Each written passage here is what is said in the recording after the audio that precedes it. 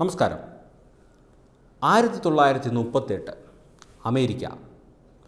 America അന്ന് രാത്രി ഒരു ഉറക്കത്തിലേക്ക് കടക്കാൻ വേണ്ടി പോവുകയാണ്. അതൊരു ഒക്ടോബർ മാസമായിരുന്നു. ഒക്ടോബർ ഇരുപതാം തീയതി. അന്ന് വാർത്താ മാധ്യമങ്ങളെല്ലാം റേഡിയോ വഴി ആണ് ഏറ്റവും കൂടുതലും അറിഞ്ഞുകൊണ്ടിരുന്നത്. റേഡിയോ അന്ന് ഏറ്റവും കൂടുതൽ കാര്യങ്ങൾ അറിയുന്നതിന് വേണ്ടിയിട്ടും അതുപോലെ പല കാര്യങ്ങൾക്കും വേണ്ടിയിട്ടും എല്ലാവരുടെ വീട്ടിലും ഉണ്ടായിരുന്ന ഒരു സമയം. അന്ന് ആയിരത്തി തൊള്ളായിരത്തി മുപ്പത്തിയെട്ടിൽ ഒക്ടോബർ ഇരുപതാം തീയതി രാത്രി എട്ട് മണിക്ക് ഒരു സംഭവം നടക്കുകയാണ്.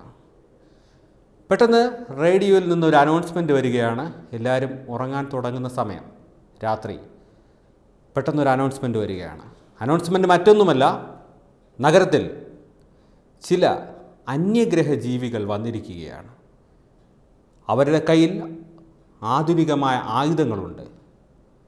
അതുപോലെ കണ്ണിൽ നിന്നും വരുന്ന പ്രകാശരശ്മികൾ വരുന്നുണ്ട്. ആരുടെ മുമ്പിലും പിടിച്ചു നിൽക്കാൻ സാധിക്കുന്നില്ല. ആളുകളെല്ലാം മരിച്ചു വീഴുന്നു. അവരുടെ വായിൽ നിന്ന് വരുന്ന തീ മനുഷ്യനെ പുല്ലുപോലെ കരിച്ചു കളയുന്നു. ഇതെല്ലാം കേട്ട് നാട് നടുങ്ങി. എന്ത് എന്താണ് സംഭവിക്കുന്നതെന്ന് അവർക്കറിയുന്നില്ല. പറക്കും തളികളെല്ലാം വരുന്നുവെന്ന് ഈ വാർത്തയിൽ പറയുന്നു. ശ്രമങ്ങളെല്ലാം നടത്തിക്കൊണ്ടിരിക്കുന്നു. പട്ടാളം ഈ ശ്രമങ്ങളെല്ലാം ഏറ്റെടുക്കുന്നു എന്നെല്ലാം വാർത്തകൾ വരുന്നു. ആളുകൾ ഭയപരവശരായി വീട്ടിൽ നിന്ന് ഓടാൻ തുടങ്ങുന്നു. അതുപോലെ തന്നെ എന്ത് ചെയ്യണമെന്നറിയാതെ അലമുറയിട്ട് കരയുന്നു. ഈ സമയം പലരും തെരുവീതികളിൽ എന്ത് ചെയ്യണമെന്നറിയാതെ ഓടിക്കൊണ്ടിരിക്കണം മരണം സുനിശ്ചിതമെന്ന് ഈ റിപ്പോർട്ടിൽ പറയുന്നു. വാർത്താ റിപ്പോർട്ടിൽ പറയുകയാണ്. പലരും ഓടുന്നു തിക്കിൽ തിരക്കിൽപ്പെടുന്നു എന്ത് ചെയ്യണമെന്നറിഞ്ഞുകൂടാ കൃത്യം ഒരു മണിക്കൂർ ഈ സംഭവം ഇങ്ങനെ തുടർന്നു കൊണ്ടിരുന്നു എന്താണ് നടക്കുന്നതെന്ന് അറിയാതെ ഒരു മണിക്കൂറിന് ശേഷം പെട്ടെന്ന് റേഡിയോയിൽ വീണ്ടും ഒരു അനൗൺസ്മെന്റ് വരുന്നു. ഇതുവരെ നിങ്ങൾ കേട്ടുകൊണ്ടിരുന്നത് നാടകത്തിന്റെ അവസാന ഭാഗങ്ങളായിരുന്നു എന്ന്. അപ്പോഴാണ് ജനങ്ങൾക്ക് പറ്റിയ അബദ്ധം മനസ്സിലാവുന്നത്. ഇത്രയും ക്രിയേറ്റിവിറ്റി ആയിട്ടും ഇത്രയും വിശ്വസനീയമായിട്ടും ഈ കാര്യത്തെ വാർത്താരൂപേണ പറഞ്ഞ് ബലിപ്പിച്ച ആ വ്യക്തി ആരായിരുന്നു എന്ന് അന്ന് മുതൽ ആൾക്കാർ തിരയാൻ തുടങ്ങി.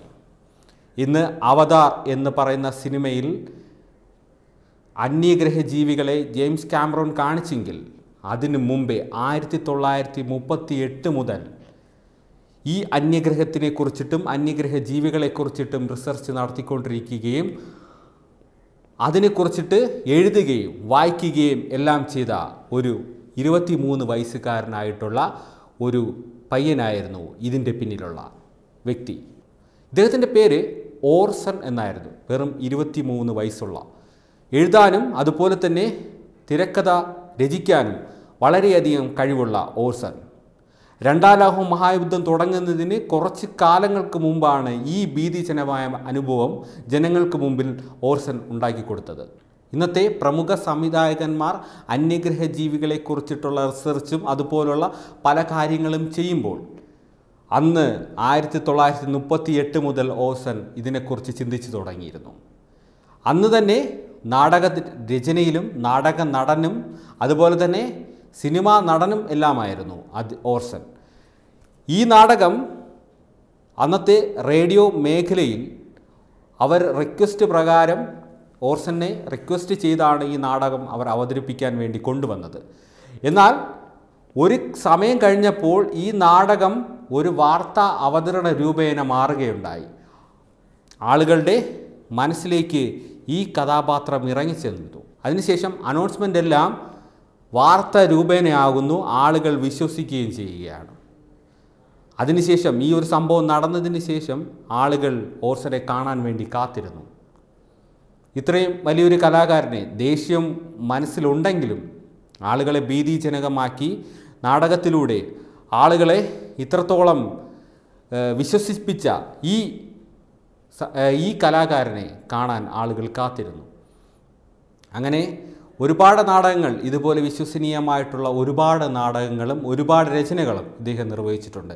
എന്നാൽ ആയിരത്തി തൊള്ളായിരത്തി മുപ്പത്തി എട്ട് ഒക്ടോബർ ഇരുപതാം തീയതി നടന്ന ആ രാത്രി ഇന്നും ചരിത്രേടുകൾ എടുത്ത് പരിശോധിച്ചാൽ ഇന്നും ഭീതിജനകമായിട്ടുള്ള രാത്രിയായിട്ട് രേഖപ്പെടുത്തിയിരിക്കുകയാണ്. കാരണം അന്ന് വരെ കേട്ട് കേൾവിയില്ലാത്തതും ആരും കണ്ടിട്ടില്ലാത്തതുമായിട്ടുള്ള രൂപങ്ങളെക്കുറിച്ച് ഓർസൺ റേഡിയോ വഴി പറയുകയാണ്.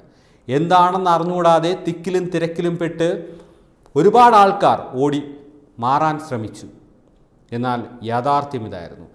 ഇന്ന് സിനിമാ മേഖലയും അതുപോലെ ശാസ്ത്ര മേഖലയും ഇത്രത്തോളം വളർന്നിരിക്കുന്നുവെങ്കിലും അന്യഗ്രഹ ജീവികളെക്കുറിച്ചിട്ടുള്ള റിസർച്ചും അതുപോലെ തന്നെ പഠന പഠനങ്ങളും അതുപോലെ ഇപ്പോഴും ഉണ്ടോ ഇല്ലയോ എന്നുള്ള കോൺസ്പിറൻസി തിയറിയിലേക്കെല്ലാം മുന്നോട്ട് പോയിക്കൊണ്ടിരിക്കുമ്പോൾ അന്ന് ഓർസൺ കണ്ടെത്തിയ രൂപവും അതുപോലെ തന്നെ ഓർസൺ കണ്ടെത്തിയ അന്യഗ്രഹ ജീവികളുടെ ശക്തികളും പല സിനിമകളിലും പിന്നെ പരീക്ഷിച്ചിട്ടുണ്ട് എന്നുള്ളതാണ് സത്യം. ഇത് ഭീതിജനകമായി അന്ന് അമേരിക്കക്കാർ കണ്ടുവെങ്കിലും പിന്നെ ഇതിനെ ഒരു റഫറൻസായി എടുത്തായിരുന്നു അന്യഗ്രഹ ജീവികൾ എങ്ങനെയിരിക്കുമെന്ന് അവർ കണ്ടെത്താൻ തുടങ്ങിയത്. News desk Tatwamayi news.